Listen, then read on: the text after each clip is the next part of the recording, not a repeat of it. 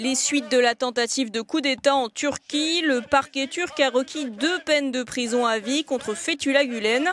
Ankara accuse le prédicateur musulman exilé aux États-Unis d'avoir fomenté le putsch du 15 juillet dernier en infiltrant les institutions turques et les services de renseignement. Devant le Parlement, le Premier ministre turc a affirmé que Gulen allait rentrer en Turquie pour rendre des comptes. Ceux qui sont responsables d'avoir fait couler le sang de nos martyrs rendront des comptes, a-t-il déclaré.